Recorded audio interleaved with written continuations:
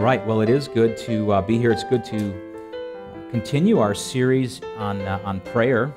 And uh, this week we had the, uh, our lawnmower stolen, and so uh, I started to pray. and the the, the topic of tonight or t- today's message is the frequency of prayer. The frequency of prayer. We've talked about the, the the function and the foundation. We've talked about the focus, the faith the fervency, and this morning we're talking about the frequency of prayer.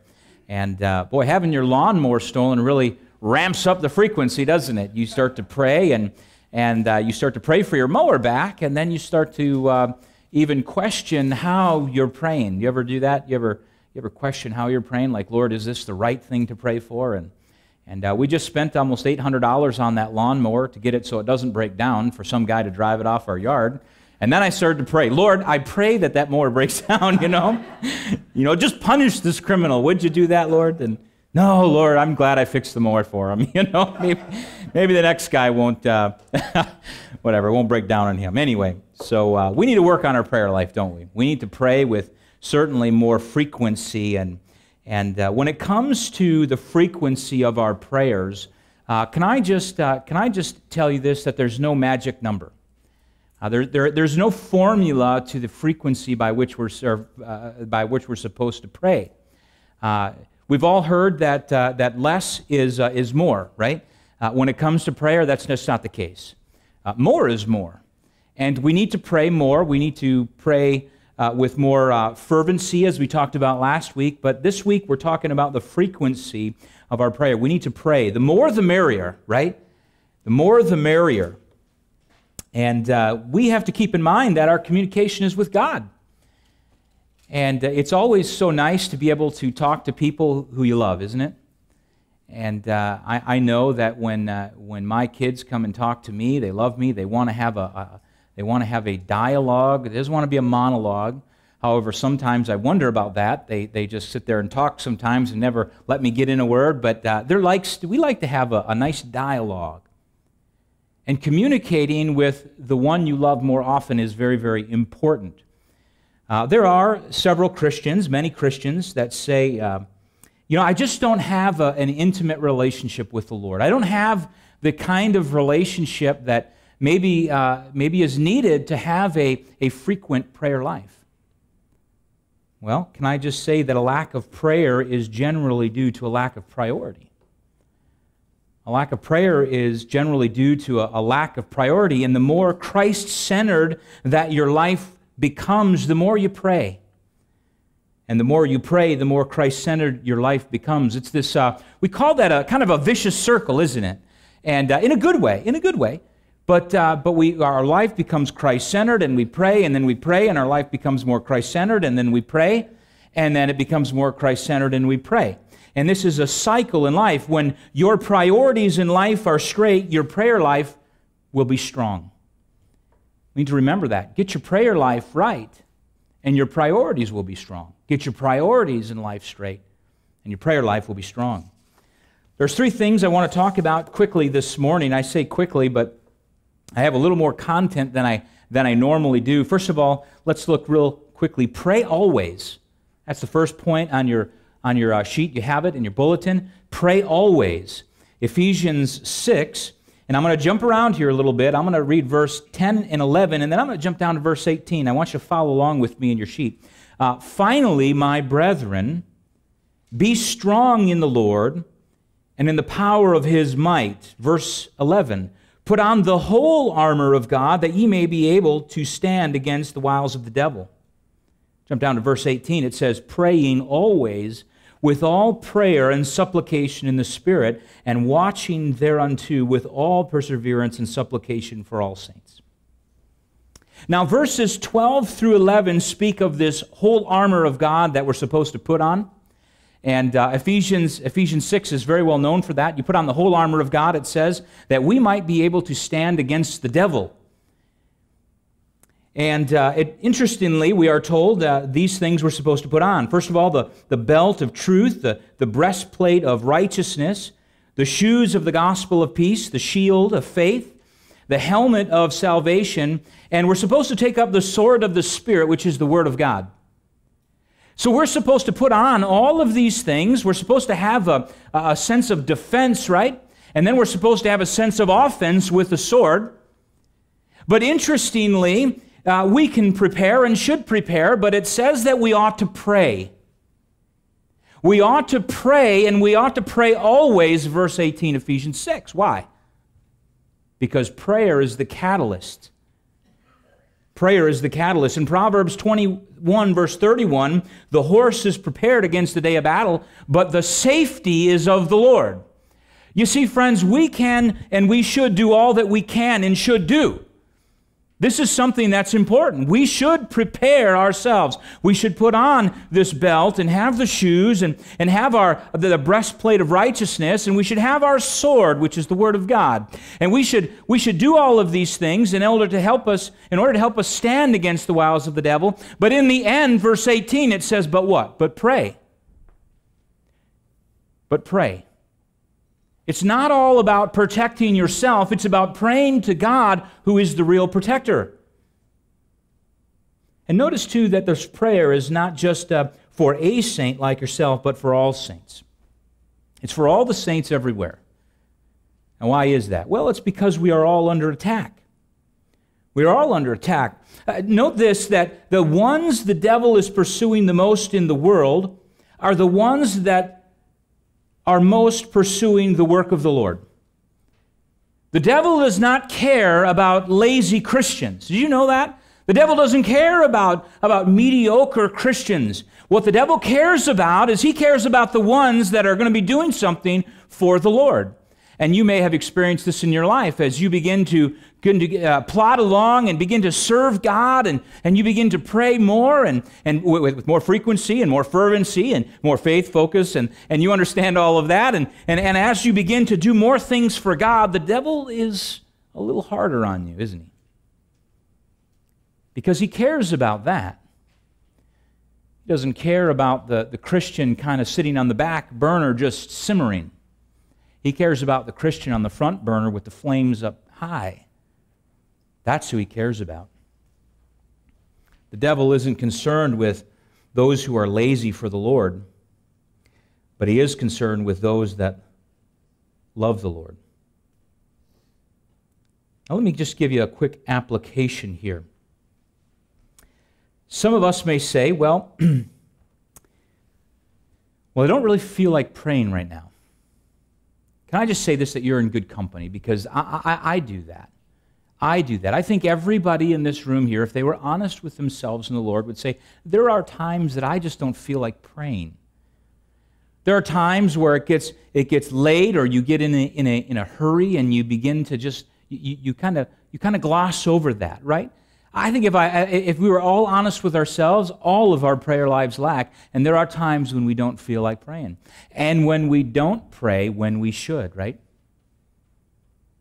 Just recently, I, I had to apologize to my kids. I had, uh, I had lied to them. It was a horrible thing. It was a horrible thing, and I truly mean that. And, and we were all, uh, we were all uh, getting ready to eat dinner.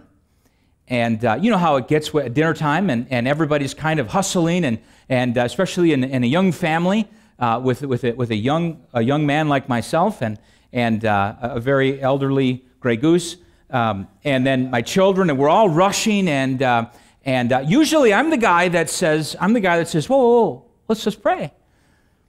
And, uh, and, and, I, had, I had thought about praying, but the food was just overwhelming, and, and, uh, and, I, and I began to eat. My wife, she turns to me, she says, she says honey, should we pray? And I said, yeah, I, I, forgot. And so we, we prayed.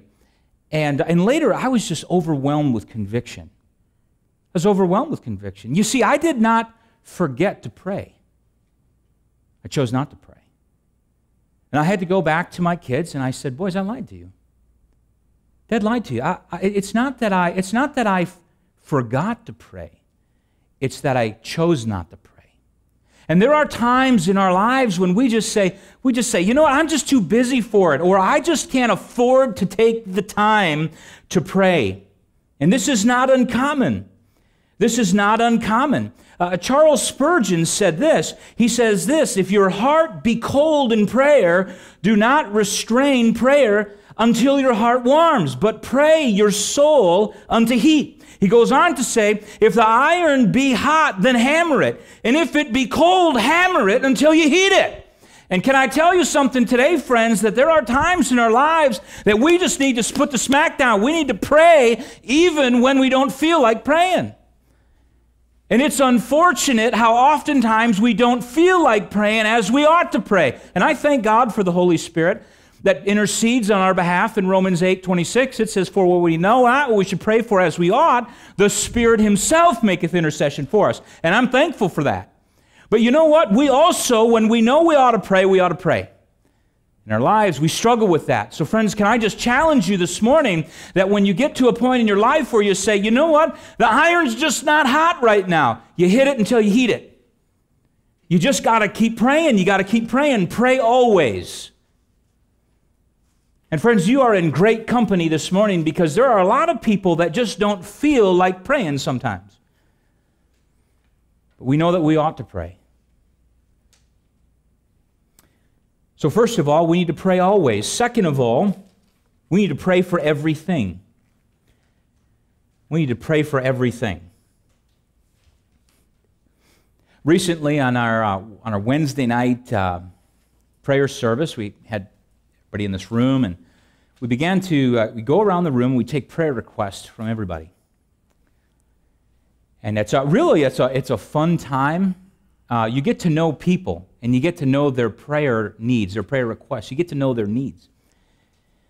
And we got to a young girl who was four years old. Her name is uh, Isabel. And uh, she, she had this uh, prayer request, I, I, thought, and, and uh, you know, through coaxing, her mom and dad were, you know, come on, what, what do you got? What do you got? And, and we drew it out of her, and she wanted to pray for her stuffed animal. And uh, it's uh, up until this point, it's an unnamed wild African dog. Am I still right on that? It's unnamed. It's just the wild African dog. That's a new stuffed animal. I can't tell you about what the, I don't know what the prayer request was other than strange. Because it was strange. I've never actually prayed for a, a stuffed animal. But you know what? Let me tell you something, friends. This is a great opportunity to show a four year old that you can pray for everything and you can pray for anything. And we ought to. In the Bible, it says in Philippians 4 6, God's word says this Be careful for nothing, but in everything, by prayer and supplication, with thanksgiving, let your requests be made known unto God.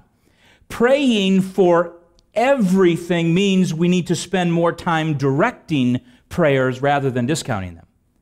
And we spend a whole lot of time saying, Boy, that's just unworthy to be prayed for. And I am so glad that a four year old little girl says to pray for her stuffed animal. You know why? Because that tells me she has a tender heart. And she has not been calloused by the world who says that, that there are some things over here that maybe, uh, maybe you ought to pray for because they're worthy of prayer. And there's some things over here that you know, we can just discount those.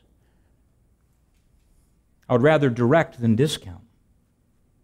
And if you want to increase the frequency of your prayers, then we ought to learn, like Isabel did, to learn to pray for everything, pray for anything. Uh, John R. Rice said something to this effect if it's, if it's, uh, if it's worth wanting, it's worth praying for. And keep that in mind. Now, interestingly, listen to this that the word be careful just simply means take no thought or don't be anxious for. So Philippians 4 6, be careful for nothing, means take no thought. Take no thought. Now, one of the greatest uh, parts of this, of this context, this passage, is not verse necessary 6, it's verse 7. Because instead of being anxious and having anxiety, you receive peace. Verse 7 says, And the peace of God, which passeth all understanding, shall keep your hearts and minds through Christ Jesus. So when we go to Him, when we are, when we are uh, not at peace about something, we can go directly to God and we can acquire peace. Isn't that just a wonderful thing? So don't be anxious for it. You can have peace about it. You have peace. You know why you have peace? Here's why because you brought it to God. You know why you're not at peace? Because you think you got this one. And until you yield to God, you'll never be at peace. Because there's a lot of us who are trying to, in a sense, pull ourselves up by our bootstraps. We're trying to say, I can get it done. I'm the guy who did it before. And why can't I do it this time? And we have no peace with that. But when you bring something to God and you say, Lord, you're going to have to deal with this one because I can't do it, there's a tremendous peace about it. A tremendous peace about it. When you were a kid, did you ever have a you ever have somebody in uh, in school that bullied you? I think a lot of a lot of people did. A lot of kids did. And uh, I, I was I was kind of one of those kids who got bullied sometimes, you know. And I went to uh, more than a dozen public schools before, before I graduated, before they, before they uh, gave me a, a, a diploma. they wanted me out of school. I went so, anyways, I went to a lot of schools and, and I was bullied. There was just kind of craziness. And, and uh, I remember I would, go, I would go home sometimes and I would, I would tell my dad, and uh, who, was, who, was, who was now he's smaller than me. He has, uh, we call this little man syndrome. And uh, I would always tell Dad, I would, you know, I, would say, "Wow, Dad, I mean, you're kind of small." And he says, "Yeah, but dynamite comes in small packages." Anyway, that was his thing apparently. But at the time, I was only about this big, and I'd get bullied in school. I'd go home and tell my dad, and I would say, uh, "I would say, Dad, so and so has, uh, you know, is, is pushing me around again." And you know what he would say? He would say, "How dare they? I got this." And uh, you know, there was just a, a sense of peace that came over me as I told my dad my burden. Because the problem was bigger than me, but it was not bigger than my dad. The problem may have been bigger than me, but it was not bigger than him. He can deal with anything, and in my eyes, he was God. I don't know about you, but my kids, they come to me sometimes and they, they, they, share their burdens with me. They share their burdens with me. I say, Dad, so and so is being mean. I said, Well, tell your brother to knock it off. No, they say, uh, they say, you know, so and so's being mean. And you know what? They bring that to me because the problem is bigger than them, but it's not bigger than me, and I can deal with this.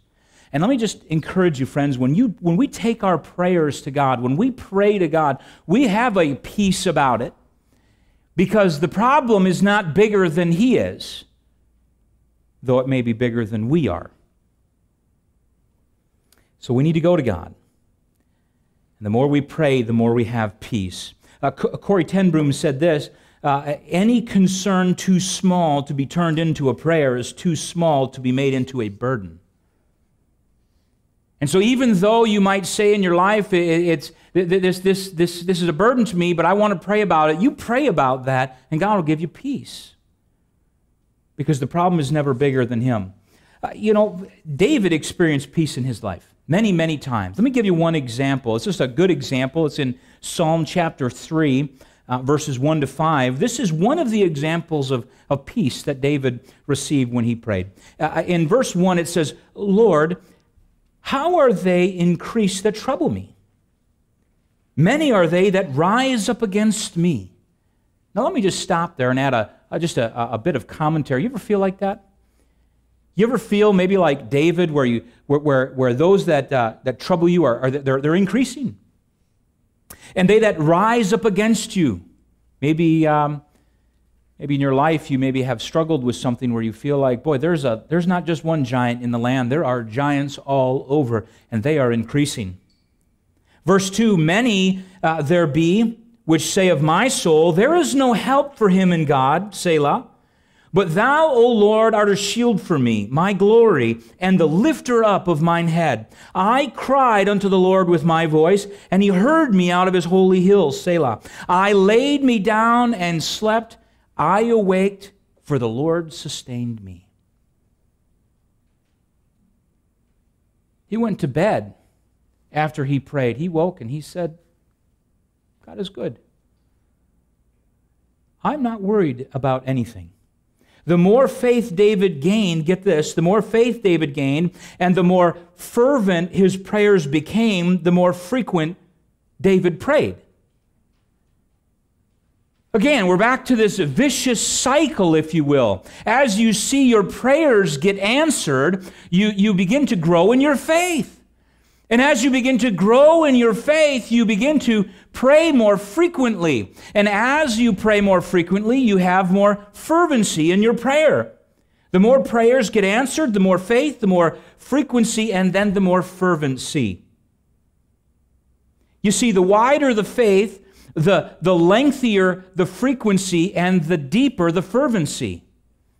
And so, what ends up happening in your prayer life is you begin to pray, and the whole thing just gets bigger, deeper, and longer. You see what I'm saying? It just continues to grow. And that's an example from David's life. And he began to grow, and he began to grow, and he began to have more faith. And his faith widened, and his fervency uh, deepened, and his frequency lengthened. And this is, the, this is what happened in his life. Now, let me just give you a quick bit of application, because here are some things we can pray about. Here are some things we can pray about. First of all, you can pray about your children. It's a good thing to pray about. I hope you pray about your children. If you don't have children, then pray for someone else's children because they need it too. But pray for your children and start when they're when they're this big. Start when they're really, really little. Can I share? I'll share some things that I pray about for my kids. I pray for their for their wives. I do. I pray for their future wives. And I ask the Lord, I say, Lord, I want my children, my, my, my boys to be pure for, for those ladies. And I want those ladies to be pure for my boys. And I pray about this, and that's a good prayer. My wife and I, we pray about this stuff at night. We pray that, that God is preparing some, some, some wonderful daughter in laws for my boys. Pray for your children, pray for your marriage. If you're not married, pray for other people's marriages. They need it too. Pray for your marriage. Pray for all sorts of things with, within your marriage. Pray that you can grow closer together. This is something we can pray for everything, right? Why can't you pray for this? Pray that you, you, your marriage continues to grow. Pray for your government, as we did this morning. Pray for godly leadership within government. Pray that they are sensitive to the Spirit's leading in their life. Pray that they don't quench, they don't grieve the Spirit, but they yield to the Holy Spirit's work in their life. Because if there's anybody that we want to be spiritual, it's probably them. What about your church? Pray for your church. Pray for your pastor. Pray for me. I am asking you to pray for me. You know what one of the some of the greatest text messages I, I, I ever have gotten? And it's not Ed McMahon saying you've won a million, you know. Uh, some of the greatest prayers, uh, things, or text message I've got from people are saying, Pastor, I'm praying for you this morning. You, you, you have no idea the effect that that has on me. Now, I try to pull out my phone and I try to text people randomly throughout the week and say, hey, I'm praying for you. Not just say I'm praying for you, but pray and then send them the text. Don't just say I'm praying because that does no good. That's a lie. And then you got to confess your faults one to another and, and you got to just say, Pastor, I lied to you. And, and that's always harsh. But anyway, so pray for people, send them text messages. Say, hey, I'm praying for you. In the morning when you wake up, when you're reading your Bible, spend time praying for me. Pray for the church. Can I tell you, I'll, I'll give you one specific thing to pray for me about. Can you do this one thing? Pray for my holiness. Pray that I'm spiritual. Would you do that? Would you commit that to your prayer life when you get up in the morning and say, just, I want to pray that Pastor is holy, that he is pure? That would be a huge blessing for me. We have all sorts of things, uh, but it, God puts these in our lives for a reason. All sorts of things that we need to pray for, but we should pray for everything. We should pray always and for everything. Uh, thirdly, we should pray without ceasing. Pray without ceasing. Uh, one of. Uh, one of the most clear commands in Scripture about prayer comes from 1 Thessalonians 5. It just doesn't get any better than this. And we think about, well, well, how often shall we pray? What are some things we can pray? How often shall we pray? The Bible says in 1 Thessalonians 5:17, pray without ceasing. That, that's, that's big. That's big. That's huge. Pray without stopping. That's what that's saying. That means to say, pray and don't stop. Just have a continued dialogue with God. Just continue to pray. Pray always. Pray without ceasing. When we are, listen to this, when we are most dependent on God, we are most frequent in prayer. And when we pray all the time, it's an extension of our dependence on God. So as you pray, you are depending on Him. And conversely, when we begin to not pray, we are not depending on the Lord. Listen to this. This is great. Deuteronomy 8, 1 to 3. Deuteronomy 8, 1 to 3. All the commandments which I command thee this day shall ye observe to do, that ye may live and multiply and go in and possess the land which the Lord sware unto your fathers. And thou shalt remember all the way which the Lord thy God led thee these forty years in the wilderness, to humble thee and to prove thee, to know what was in thine heart, whether thou wouldst keep his commandments or no. Now listen to verse 3. This is where we get into this. And he humbled thee and suffered thee to hunger. And then, look what he did. And then he fed thee with manna, which thou knowest not, neither did thy fathers know, that he might make thee know that man doth not live by bread alone, but by every word that proceedeth out of the mouth of the Lord doth man live. The whole reason for God removing from them provision and then giving them provision is that they might know that the reason they are who they are is because of God. That is why God is showing the children of Israel that He is the ultimate provisionary. And how often in our lives do we forget that He is the one that's providing? It's not Joe Huss that's providing. It's not you that are providing individually for yourselves. It ultimately comes from God. And when we take God out of the picture, we take dependence out of Him or on Him out of the picture, our prayer life is going to be hindered. We're not going to pray as frequently as we ought. We need to pray frequently we need to pray frequently, and that comes through dependence on God. The more dependent we are, the more communication we have with Him, because we need to tell Him what we need. You know, my kids are this way. We have a real close relationship right now because they, they need things. They need clothes and they need, they need, uh, they need shelter. And uh, they apparently, I never feed them because they're always hungry. And uh, maybe your kids are that way. And uh, so, so they need food. They need all of these things. And you know what? They, they come to me and they say, Dad, I need these things. You know what they're doing? They're depending on me, aren't they? Now, as they grow up, as they mature, and they, uh, they begin to become self sustained, they will not depend on me as much. And you know what will happen? We will communicate less and less and less and less. Why? because there's less and less and less dependence on me to provide for them. And so it is in the Christian life. When we believe that we got this one, Lord, I got this one figured out. I dealt with this last time and I'll deal with it again. We're not going to pray to him. We're not going to ask him for things and we certainly we certainly are not going to praise him for the things which he's given to us because we don't even acknowledge that he's the one who did it. We acknowledge that we're the one who did it. That I, the reason that I am successful is not because of God, but because of me. And so, how can you praise God for that? We don't praise God for that. We take all the credit, unfortunately. Let me just give you some application. If you are not praying as frequently as you ought, I just want to give you two questions that I want you to ask yourselves. Two questions. Ask yourself, who are you depending on for all you need in life? If you're not praying as frequently as you ought, ask yourself this question Who are you depending on for all you need in life? It's a good question. Are we depending on yourself? Are you depending on yourself? Am I depending on me? And then, second question ask yourself who provides all life's needs? Who provides all life's needs? Is that you? Are you providing everything you need in life? Because you're certainly not going to pray about it if you're providing it. Now, watch the connection between verses 17 and 18 and verse 1 Thessalonians 5.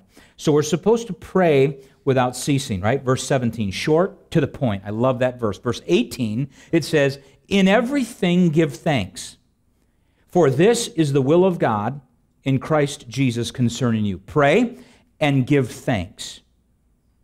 When you see that God is providing, you give thanks to Him.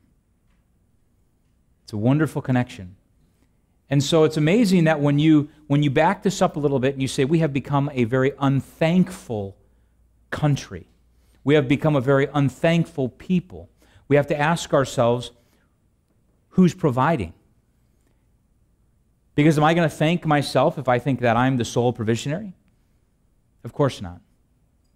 But when you allow God, not just even allow, when you acknowledge that God is the one who provides for you, you begin to be thankful.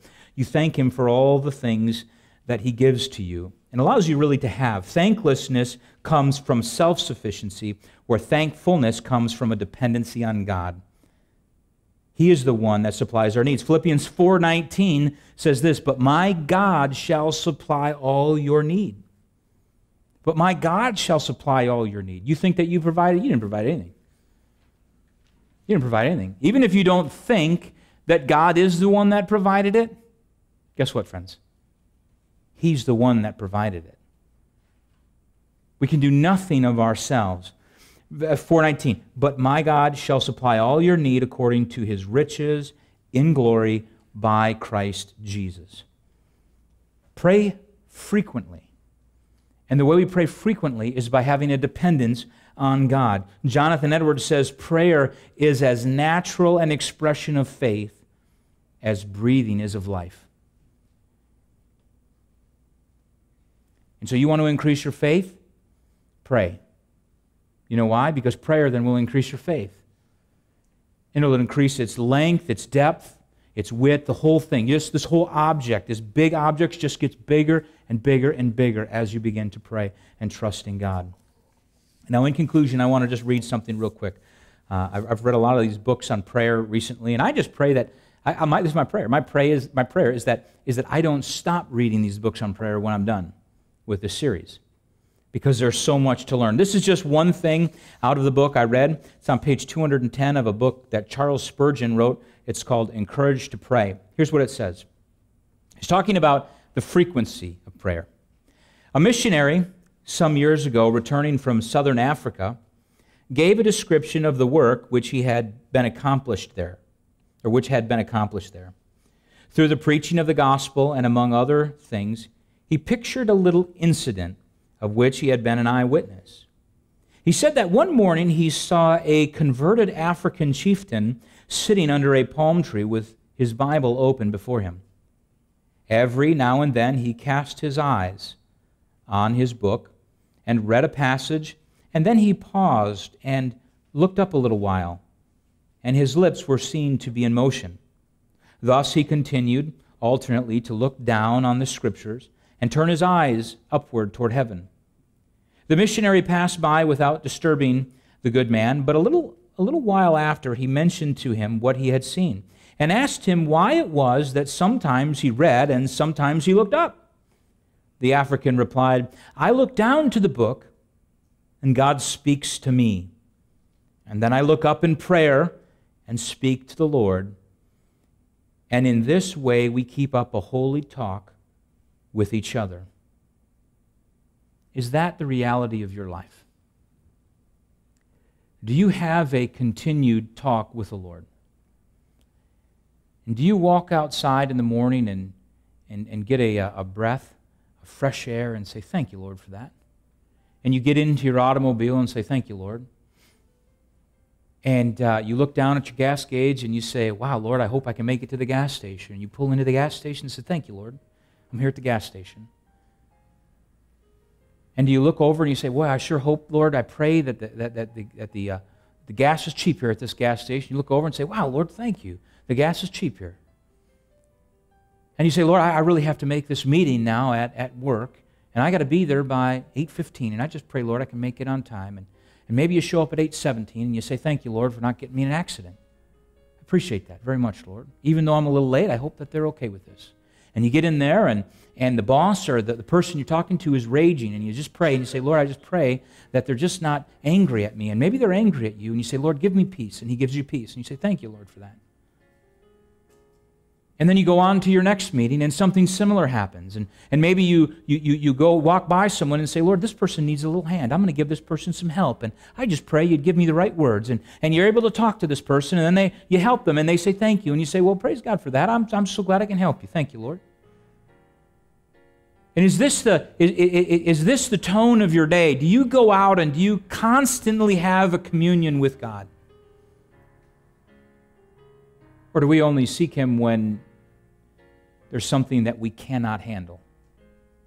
You say, Lord, you can't, you, you, you're the only person that can help in this situation, so I, I, I, am, I have to go to you because there is none other. Or do you come to Him in, in praise as well? I hope that we can have this kind of conversation with the Lord, ongoing, all day long. We are constantly praying and thanking Him for all that He does for us. We need to increase our frequency. Increase the frequency of prayer, but it's solely going to be dependent on you trusting God for all of your life's needs and thanking Him for all that He's provided. And that's the truth of it.